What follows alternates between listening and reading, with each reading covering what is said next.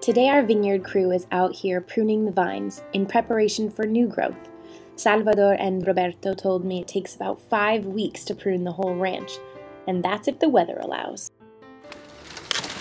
So mainly we we focus on that and having a good balance on the vines for hmm. have a good fruit too.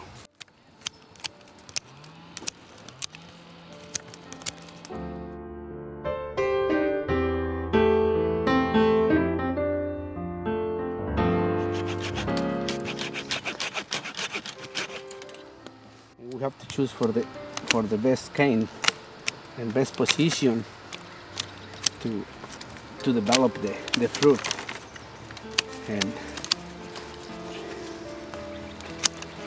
and then after that you know just clean everything and throw them on the ground